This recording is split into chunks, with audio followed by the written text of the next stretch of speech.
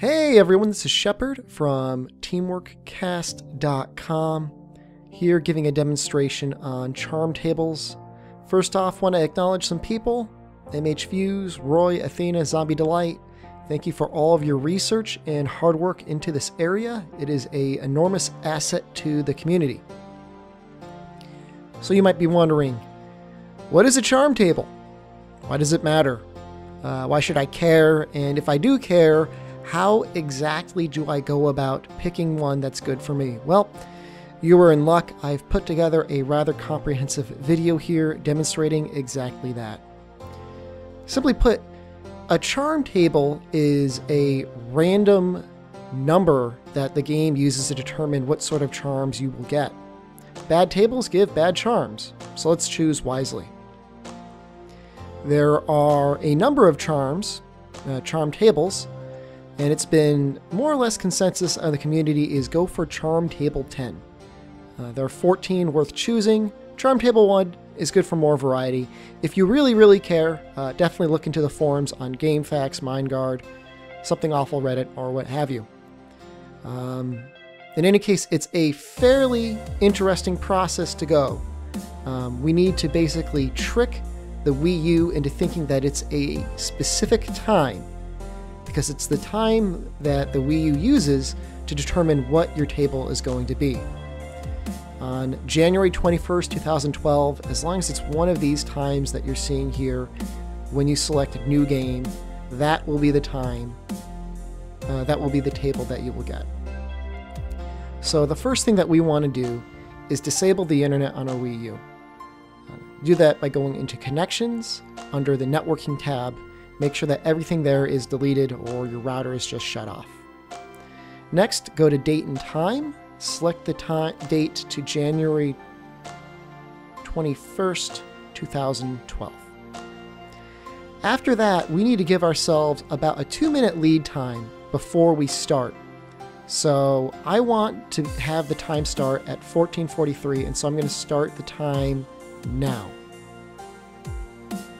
So I have a stopwatch going on the side by me. The time right after you hit OK is the time that you're going to be using. And hopefully you'll be able to start up your game in time. I'm giving myself a minute and 43 seconds before I have to hit new game.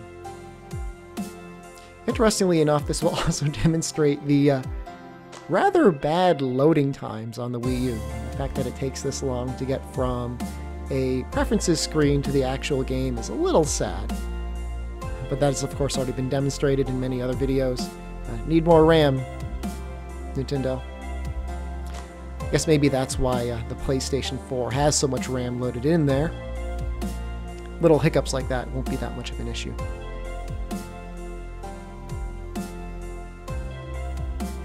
And so this little timer that I have running in the corner is of course not the time that I used. This is a little feature that I'm using in video editing and post-processing.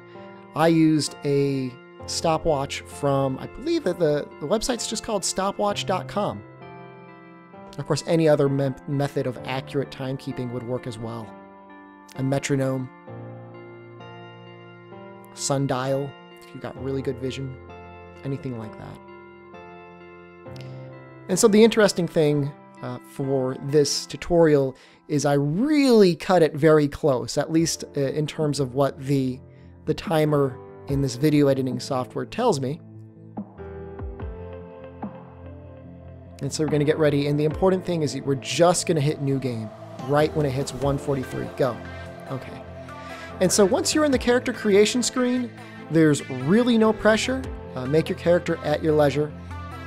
The important thing is hitting new game right in that time frame. You have about three seconds to do it, so as long as you're at least somewhat accurate, somewhat quick about it, that'll be it. So the next thing to do, of course, is we're going to verify that we are on the correct charm table. After a certain amount of progress, of which I will demonstrate uh, in just about two minutes, you will unlock the fishing boat. Uh, send your lady off to fish in the Moga Coast just for 30 points. Um, the question's been asked, does using the uh, speed boost for fishing affect it? I don't know. I don't do it. So make a record of what fish you caught. go ahead, send her out for a second time. And again, make a record of those fish. And then we're going to go to a website that MH Views has, has created. It's a translation for a Japanese website that basically helps you determine what charm table you'll have. So go into mhvuze.de slash 3ucharm slash fishen slash index2.html. Put in the two patterns of the fish that you received. You'll see here that I just pre-populated the ones that I have. Click send. This will take you to a Japanese website that will then show you the possible charm tables that you could have chosen. In this case, we can see that I have charm table 10 uh, two ways in a row with everything else xed out, confirming that I actually got charm table 10. So right now, I'm going to go to a bonus reel. This is just a speed run, almost entirely straight through. Um, a little bit of editing here and there, showing what you need to do to get to the fishing verification as quickly as possible. Uh, also gives me a little bit of time to talk a little bit more about charm tables, why they matter, why you should care, or uh, why you shouldn't care too much, but you should at least make sure not to get onto one of the dreaded cursed tables. So the reason why we want to have charm table 10 is because there's a really, really good charm there. It's a charm that gives handicraft skill as well as free element. Sharpness plus one is of course an excellent skill. Uh, getting higher levels of sharpness on weapons gives bonus damage, makes it easier for you to hit monsters, bounce a lot less, it increases elemental damage, increases KO damage, uh, so on, so on, and so forth. Now, Awakening was a little bit of a dark horse ability in Monster Hunter Tri. It had some situational abilities, but more or less it was something that you would just use just, just for the fun of it. Nothing really incredibly necessary there. Uh, this time around, there are a lot of weapons, uh, especially the Brachydios weapons, and uh, I think probably some event weapons that if you use Awakening, which is called Free Element now, you'll actually be able to unlock the slime element. Or I guess I should probably say slime status effect. You'll see in a lot of the speedrun videos done by the Japanese so far, I guess actually there were probably some American people or European people that imported the game, this uh, element or status is really effective. Uh, applied enough to a monster, you'll be able to do the equivalent of about, I think, one large barrel bomb's worth of damage, maybe two. Again, I don't know the exact damage, so don't quote me on that. In any case, it's been uh, found to be incredibly effective. So, hopefully getting your sharpness plus one, your free element uh, with that one talisman, as well as the myriad of other really good talismans is good. Okay, so you might be saying, well, I don't care about having the absolute best talisman in the game. Uh, it doesn't bother me. I'm not going to farm enough to ever get it anyways. Uh, what, what does it matter really to me? Well, there are certain types of charm tables that are actually bugged. Uh, interestingly enough, there are a total of 217,000 charms per most standard charm tables. Uh, seems really excessive, but again, it's a random number generator. It's a seed the game is using to determine uh, various other random effects in the game. Well, there are certain charm tables that are bugged, or as the uh, community calls them, cursed, that have one one hundredth so one one thousandths. Far less the amount of charms uh, available. It's uh, 217. So there seems to be some sort of rounding error or powers error in in regards to these uh, tables. Well, just limiting the charms alone would be bad, but what has been found is that when you have these charm tables, you actually can't get certain rust shards or ancient shards which limit your ability to get in certain armament sets. So, uh, certainly, it does matter.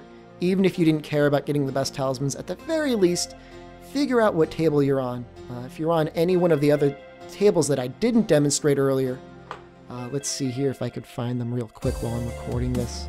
At Charms table 11, 12, 15, 16, or 17, you are cursed. Do not pass go. Not collect $200. Uh, so here's a, a, little quick trick. This is something that MHVuze suggests people do, um, not only to help themselves get uh, time advanced for the charm tables, but also if you're farming, this Kelbi quest here can be repeated very quickly. As soon as you have two Kelbi horns and you complete the quest, you can immediately complete the quest. Uh, upon quest completion, you're given another two Kelbi horns. So you can throw those into your backpack and repeat the quest again and complete it in about another 20 seconds. So maybe it's a total of 30 to 35 seconds total each quest completion time. Well, that about wraps it up. Uh, any other questions, please ask them in the comments or go to teamworkcast.com or uh, definitely poll on one of those esteemed scholars. MHVuze has a wonderful video himself explaining the table process, so check him out. Uh, check out Roy's page. I believe he's got uh, translations for some of the best uh, charms in the game. And again, go ahead and visit Reddit. Uh, check, the, check those people out there. They're also doing some great research, compiling data, and of course the GameFAQs forums as well. Uh, about the only thing they like talking about. It's not monsters, it is only charm tables. So, hope you enjoyed this video. There will probably be some actual gameplay videos, of course, to follow. Until next time, though, uh, this is Shepard from TeamworkCast.com saying good luck and have a good hunt.